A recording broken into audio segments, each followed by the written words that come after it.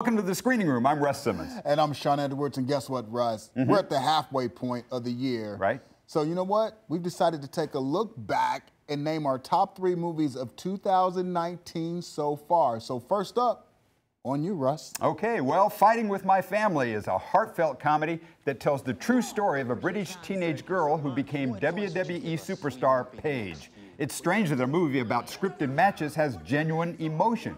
Fighting with My Family is a real crowd, crowd pleaser. Four popcorn bags for me. Yeah, I like that one as well. Coming in at number two, warning, the teen comedy Booksmart, the story of high school girls who cut loose for one night, is not for everyone. It's shamelessly raunchy, but boy, it lives up to its lofty title. You may feel guilty for laughing at this brazen entry, but laugh you will.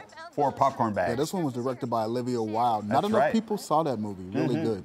And okay, here's number one for me. It's, this is for everyone in the family. The folks at Pixar have gone back to an old mine and found more gold in Toy Story 4. It's brilliantly conceived, and, and this animated story works as a comedy, as an action adventure, and as an emotionally satisfying conclusion to the series. Five popcorn bags for me.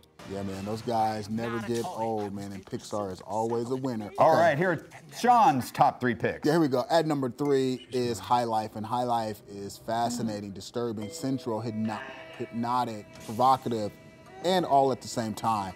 It's directed by French mm-hmm. filmmaker Claire Denis, and this sci-fi opus is dumb, strange, and original, and very good for popcorn bags.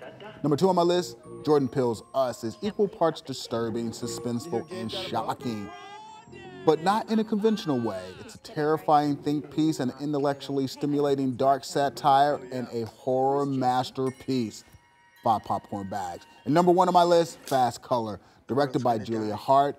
It is perhaps the most perplexing and intellectual film in the superhero movie space. Three black women deal with their superpowers as race and gender issues are explored. Five popcorn bags in the best movie so far in 2019. You can see all of our reviews and interviews with Hollywood's biggest stars at fox4kc.com slash screening room. And you can also check us out on Facebook or you can watch us on YouTube. And that's it for this week. Until next time, I'm Russ Simmons. Yeah, there you go. A look at our favorites so far. We'll be back in six months with our top 10 list. that's right. But in the meantime, I'm Shawn Edwards, Fox 4 News in Screening Room.